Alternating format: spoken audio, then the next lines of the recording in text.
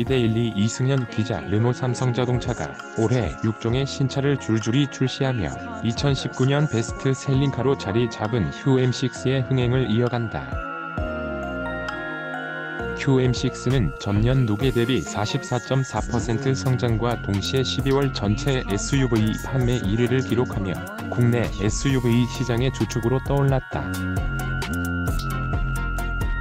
지난해 총 누적 판매는 47,640대로 르노 삼성자동차 2019년 매수의 54.8%를 차지하며 판매 실적을 견인했다. 그 배경에 부분 변경과 함께 틈새 시장을 공략하기 위해 내놓은 국내 최초의 LPG SUV인 LPE 라인업 덕이 컸다. QM6 LPE는 지난 6월 출시 직후 불과 12일 만에 1,408대가 판매된 데 이어 지난 7월 QM6 판매량의 절반 이상인 2,513대가 팔리면서 LPG SUV에 잠재된 수요를 증명했다.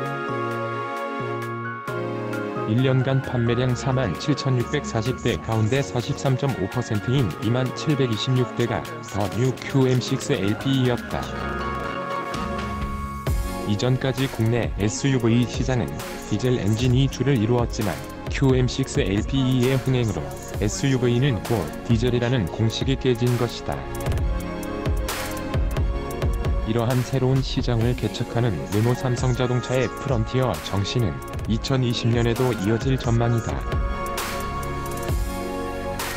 올해 르노 삼성자동차는 XM3를 필두로 6종의 신차 출시를 예고하며 치열한 내수 판매 경쟁에 합류할 전망이다.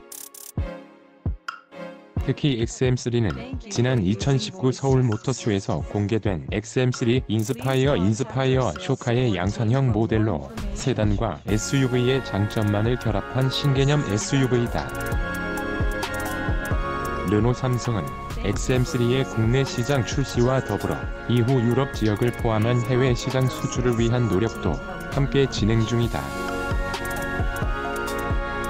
르노 삼성은 XM3와 더불어 상반기 중 QM3의 full model change 모델인 2세대 캡처와 글로벌 best selling 전기차 3세대 ZOE ZOE도 출시할 계획이다. 또한 상품성이 더욱 개선된 SM6, QM6, 마스터의 새로운 모델들도 잇따라 출시를 예고하고 있어. 새로운 제품 라인업을 바탕으로 2020년 내수 시장에서 10만 대 이상의 판매가 기대되고 있다. 르노 삼성자동차 관계자는 지난해 신차가 없어 고군분투했지만 올해는 상황이 다르다. 특히 XM3는 QM6 LPE처럼 기존에 없던 새로운 시장을 개척하는 차량으로 내부적으로 큰 기대를 걸고 있다며 노사 관계까지 안정이 된다면 XM3를 통한 수출 물량 확대도 기대하고 있다고 말했다.